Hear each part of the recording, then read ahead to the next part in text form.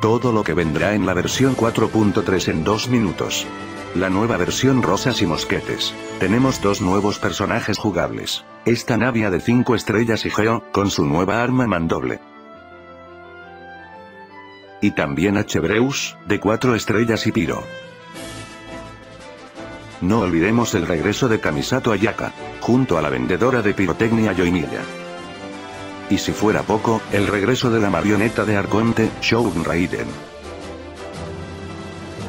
Y por supuesto, unos nuevos artefactos. El evento principal con muchísimas protogemas, y una espada de regalo de 4 estrellas. El evento incluye la zona de tiro de intercepción centesimal a mil pies. Luces fantásticas, efectos realistas. Expulsión extrema. Y encuadre ingenioso.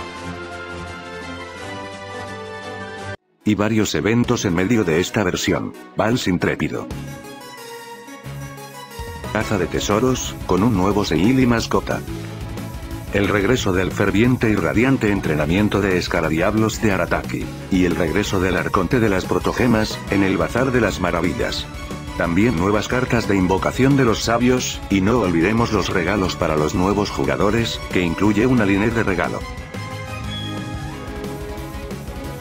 y muchísimas micro mejoras para el juego. Ahora las expediciones serán de un clic, siendo más veloz. Una mejor gestión de artefactos, ahora será más sencillo seleccionar lo que queramos, al igual que ver sus características, siendo más rápido. Pantallas de mejora optimizada, de esa manera sea más fluida.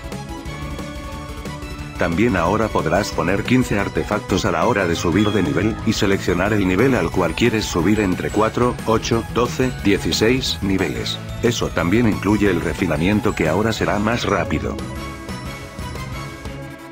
Ahora los dominios una vez los completes y los reinicies, te llevarán directamente a la llave roja.